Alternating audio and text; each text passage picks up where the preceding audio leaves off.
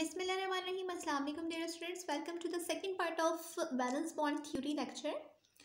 अब हम इसमें डिस्कस करेंगे number of the orbitals and types of hybridization so let's start with this lecture according to the valence bond theory here we have an idea that metal atom or ion under the influence of ligands can use its orbital for the hybridization to either set of equivalent orbitals to definite geometry ये बात मैं आपको already previous lecture में बता चुकी हूँ कि after the combination और you can say after the recombination of different orbitals new orbitals will generate and this process will be referred as hybridization process and the new generated orbitals will be referred as hybrid orbitals right so the new generated orbitals will be referred as definite geometrical orbitals यानी कि जो भी new orbitals generate हो रहे हैं, उनकी definite shape होगी definite geometric होगी और उनको हम कहेंगे डेफिनेट ज्योमेट्रिकल ऑर्बिटल्स अब इन ऑर्बिटल्स की जो ज्योमेट्री है, वो डिफरेंट तरीके से हो सकती है. They can be referred as octahedral they will be referred as tetrahedral they can be square planar and so on यानी कि डिफरेंट शेप्स हो सकती हैं after the recombination you can say after performing the hybridization process These hybrid orbitals are allowed to overlap with the ligands orbitals that can donate electron pair for bonding. अच्छा यहाँ पर एक term आ रही है that is referred as ligand ligand क्या चीज़ होती है? ये मैं आपको एक्सप्लेन कर देती हूँ। ये आप लोगों ने पढ़ा हुआ भी होगा सेकेंड ईयर में chapter number I think fourteen में, कि लीगेंट जब कोऑर्डिनेशन कंपाउंड की आप बात करते हैं तो कॉर्डिनेशन कोऑर्डिनेशन कंपाउंड में एक चीज़ आपके पास आती है लीगेंट लीगेंट एक ऐसी चीज़ होती है, ये एक ऐसा एटम होता है that carries a lone pair of electron जो कि lone pair of electron carry करता है और लोन पेयर ऑफ़ इलेक्ट्रॉन किसी को देता है। तो उस चीज़ को आप कहते हैं लीगेंट उस एटम को आप कहते हैं ligand right that means ligand will carry negative charge on its surface as it has electron pair and it is going to donate electron pair to another atom right so always remember it, what is ligand? Ligand is basically an atom, it could be a number of atoms that will carry pair of electron and it will possess negative charge. As it carry, pair of electron. So, basically hybrid orbitals में क्या होता है कि overlapping होती है ligands की, जो कि क्या करते हैं इलेक्ट्रॉन पेयर को डोनेट कर सकते हैं। तो यहाँ पर डायरेक्टली मैंने लीगेंट का वर्ड यूज़ किया है। आप समझ जाइएगा कि लीगेंट का मतलब ये है कि एक ऐसे एटम की बात हो रही है जिसके पास लोन पेयर ऑफ़ इलेक्ट्रॉन है, या जो कि इलेक्ट्रॉन को डोनेट करने की सलाहियत रखता है। ठीक है? तो उसको हम क्या कह रहे हैं यहाँ पर लीगेंट कहते हैं। Coordination number types of hybridization और distribution of hybrid orbitals in space की अगर हम बात करें तो कोऑर्डिनेशन नंबर अगर आपके पास फोर होगा तो आपके पास type of hybridization s p three हो सकती है। अगर इनिशियल स्टेज से बात करें हम तो एस पी थ्री हाइब्रिडाइजेशन सबसे पहले आती है। एस पी थ्री हाइब्रिडाइजेशन में अगर आप देखें so here we have one s and three p orbitals that means the coordination number will be four right So uh, if you are going to form the structure or you can see the geometry of that specific sp3 hybridized orbital then it will produce tetrahedral structure in space ठीक है तो basically मैंने यहाँ पर directly आप लोगों को बता दिया है कि मॉलिक्यूल्स में अगर sp3 हाइब्रिडाइजेशन होगी तो चूँकि एक एस और थ्री पी ऑर्बिटल्स कंबाइन हो रहे हैं, इसका मतलब है कि कोऑर्डिनेशन नंबर फोर होगा और इनकी जो ज्योमेट्री होगी, उस मॉलिक्यूल की स्पेस में वो टेट्राहेड्रल ज्योमेट्री होगी राइट सेकेंड अगर हम देखें d s p two hybridization को so here we have one d one s and two p orbital so obviously the coordination number will be combinedly 4 that is 1 plus 1 plus 2 that will be 4 and the geometry of that specific molecule that will possess as dsp2 hybridization. It will be square planar in structure or you can say in space. The molecule that will possess sp3d type of hybridization, the coordination number will be 5 as it uh, requires 1s, 3p and 1d orbitals and the structure of it or you can say the geometry of it in space will be trigonal bipyramidal. इसी तरह s p three d two hybridization में coordination number आपके पास six होगा और octahedral structure formation करेगा in space d two s p three hybridization में coordination number six होगा एंड ऑक्टाहेड्रल स्ट्रक्चर होगा in space right now comes toward the limitations of uh, valence bond theory. This theory has also some limitations जिसको हम study कर लेते हैं, जो short comes कह सकते हैं आपकी शॉर्ट कम्स क्या है वेनस बॉन्ड थ्योरी के? The failure to explain the tetravalency exhibited by carbon आपको अच्छी तरीके से मालूम है कि carbon has four valency but carbon जो है अगर आप देखें तो सिंगल कोवलेंट बॉन्ड होता है डबल कोवलेंट बॉन्ड होता है ट्रिपल कोवलेंट बॉन्ड होता है but you can see tetra covalent bond exist नहीं करता in nature So valence bond theory is basically failed to explain that why tetracovalent bond is not present in nature with the help of carbon.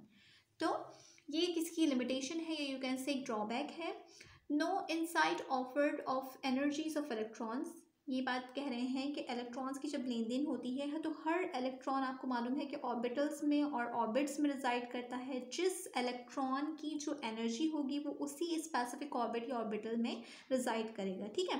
अगर कम energy होगी तो lower orbital में होगा। अगर higher energy होगी तो हायर ऑर्बिटल्स में होगा। ये बात आपको ऑलरेडी मालूम है कि किसी भी इलेक्ट्रॉन का किसी ऑर्बिट में जाने के लिए उसकी एनर्जी लेवल से मैच होना ज़रूरी है। अगर उसके पास वो एनर्जी नहीं है तो वो उस ऑर्बिटल में डिज़ाइड नहीं कर सकता, ठीक? तो इन एनर्जी के डिफरेंसेस को इन एनर्जीज़ की जो भी इंफॉर्मेशन uh, है इसको एक्सप्लेन नहीं करती valence bond theory right the third drawback as a theory as assumes that electrons are localised in specific areas जो थर्ड ड्रॉबैक है वो ये बताता है कि जिसमें आपको इलेक्ट्रॉन डेंसिटी के बारे में बताया था कि इलेक्ट्रॉन डेंसिटी एक स्पेसिफिक एरिया में मौजूद है। मैं उस वक्त मैंने आपको लास्ट लेक्चर में डिस्कस किया था कि इलेक्ट्रॉन डेंसिटी एक स्पेसिफिक एरिया में रिजाइड की हुई है। तो ये इस बात को अज्यूम करता है कि इलेक्ट्रॉन्स जो है वो लोकलाइज्ड है कुछ स्पेसिफिक एरियाज़ में, ठीक है? और वहीं पर वो मूवमेंट परफॉर्म कर रहे हैं, वहीं पे उनका सारा जो भी काम है वो परफॉर्म हो रहा है, ठीक है? फोर्थ पॉइंट आपके पास ये है कि doesn't give a quantitative interpretation of thermodynamic और kinetic stabilities of coordination compound अच्छा इसको समझने के लिए, इस पॉइंट को समझने के लिए आपको पहले पता होना चाहिए कि what is thermodynamics and what is kinetics thermodynamics को अगर आप देखें तो अगर उसको डिवाइड करें तो therm means heat and dynamics means movement यानी कि अगर एनर्जीज़ की हीट बेसिकली एनर्जी के टर्म्स में ही आता है तो अगर एनर्जीज़ की लेन देन के बारे में अगर आप स्टडी करोगे तो that will be referred as thermodynamics और थर्मोडायनेमिक्स में हम एक्सोथर्मिक और एंडोथर्मिक रिएक्शंस को स्टडी करते हैं, अगर आपको याद हो तो ठीक? एक्सोथर्मिक रिएक्शंस कौन से होते हैं? जो कि एनर्जी को एमिट करके परफॉर्म हो रहे होते हैं और एंडोथर्मिक जो कि एनर्जी को एब्जॉर्ब करके हो रहे होते हैं। तो नेचुरली ऐसा होता है कि जो रिएक्शंस एक्सोथर्मिक नेचर के होते हैं, वो स्पॉन्टेनियस रिएक्शन होते हैं। स्पॉन्टेनियस का मतलब क्या होता है? वो खुद ब खुद हो रहे होते हैं। आपको कोई एक्स्ट्रा एनर्जी प्रोवाइड करने की ज़रूरत नहीं। वो खुद ब खुद अपने अंदर से एनर्जी रिलीज़ कर रहे हैं और, जो है केमिकल रिएक्शन परफॉर्म होते चला जा रहा है। बट वो रिएक्शन जिसमें आपको एनर्जी प्रोवाइड करने की ज़रूरत पड़ रही है, यानी कि जो कि एंडोथर्मिक रिएक्शन है, वो नॉन स्पॉन्टेनियस होता है। नॉन स्पॉन्टेनियस मतलब वो खुद ब खुद नहीं हो रहा है। आप उसको एनर्जी प्रोवाइड कर रहे हैं तो वो हो रहे हैं राइट तो valence bond theory thermodynamic interpretation को नहीं बताती। कोई क्वांटिटेटिव थर्मोडाइनमिक इंटरप्रिटेशन नहीं देती। क्वांटिटेटिव का मतलब ये है कि क्वांटिटी बताना। एक चीज़ होती क्वालिटेटिव और एक चीज़ होती है क्वांटिटेटिव ये जो टर्म्स हैं, ये आपसे पेपर में पूछी जा सकती हैं, सही है? वैसे तो बहुत नॉर्मल सी टर्म्स हैं ये। क्वालिटेटिव का मतलब ये होता है कि कौन सी चीज़ एग्जिस्ट कर रही है, कौन सी चीज़ प्रेजेंट है। क्वांटिटेटिव का मतलब ये है कि वो चीज़ जो प्रेजेंट है, वो कितनी मकदार में मौजूद है, ठीक है?